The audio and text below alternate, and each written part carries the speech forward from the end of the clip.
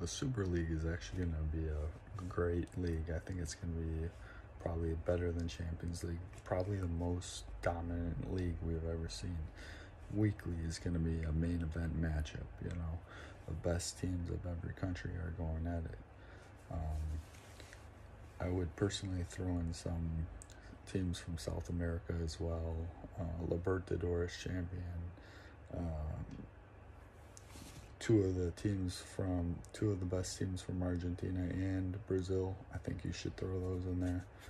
Um, it's going to be a lot better than Champions League, though. Champions League has been corrupt as can be over the last decade or two.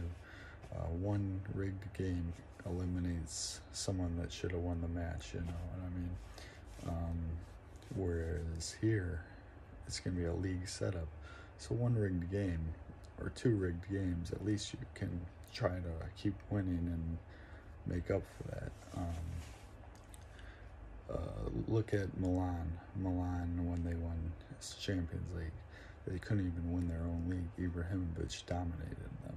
Look at Inter. Inter wins the Champions League. They couldn't even win their own league because Ibrahimovic dominated them. Ibrahimovic destroys in this setting, you know what I mean? Um, I think this is a lot harder to win than Champions League over the years because of the corrupt games. You know, a lot of those Champions Leagues, the winners only won because of corruption. Um, and then you look at the some of the winners who win it, they play in these weak leagues, and they win their own leagues pretty much um, year after year after year. Well, now you're going to face the best teams in the world. Let's see how you match up week after week after week without corruption. That's the key. But the sad thing is the sport has been so corrupt over the years that, you know, it's at a downward slope as it is. And then you look at the corruption in the Champions League in the last decade or two. You look at 2009 Barca. You look at 2006 Barca you look at 2011 Barca. You look at Real Madrid, the the three-peat. You know, there's moments in all those where it was corrupt as can be, and the fans don't see it. That's what's funny to me. You know what I mean? 2009, look at the referee. 2006, look at the offside goal.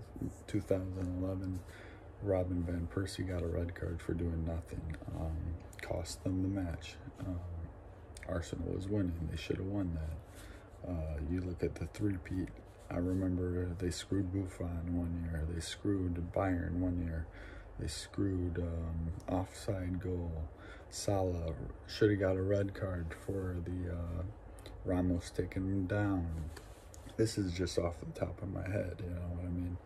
Um, I didn't plan this, so there's probably more that I could keep going at it, but that's just off the top of my head. Um, without the refs, without corruption, these teams are nothing, you know what I mean? And unfortunately, my favorite teams are the teams that get the corruption on. You know, Chelsea and PSG over the years have been screwed every year, you know what I mean? Um, I hope they win it this year. Uh, because the other teams joined Super League because I think it's deserving, you know. The other teams joined Super League, they should be punished. You know, let's give uh, PSG what they deserve. They deserve that CL after, you know, the years of getting it screwed away from them. So.